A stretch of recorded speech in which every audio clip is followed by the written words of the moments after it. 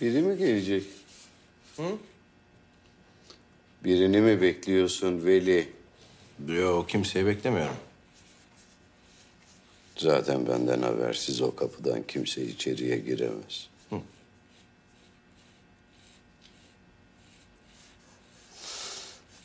Akşam Asiye'nin yanına gittim.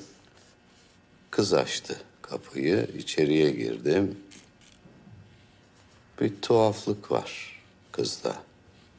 Baharda mı? Evet, baharda.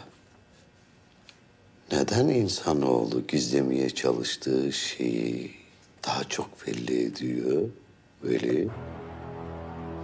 Halbuki gizlemeye çalışmasa hiç belli olmayacak. Neyi gizlesin ki? Bilmiyorum. Ama öğreneceğim.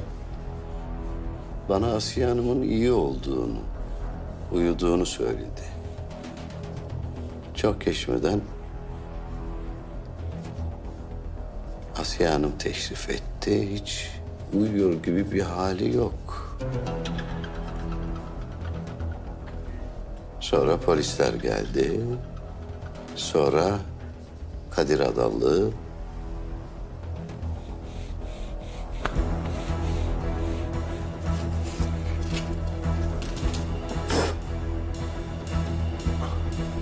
Bana pusu kurdular. Ama bilmiyorlar ki çakala pusu kurulmaz. O kurmuştur. O kadın. Onu bulalım. Bahar'ı, Bahar'ı bulalım. Ben bulurum. Sen değil. Kadir Adalı niye oradaydı? Ona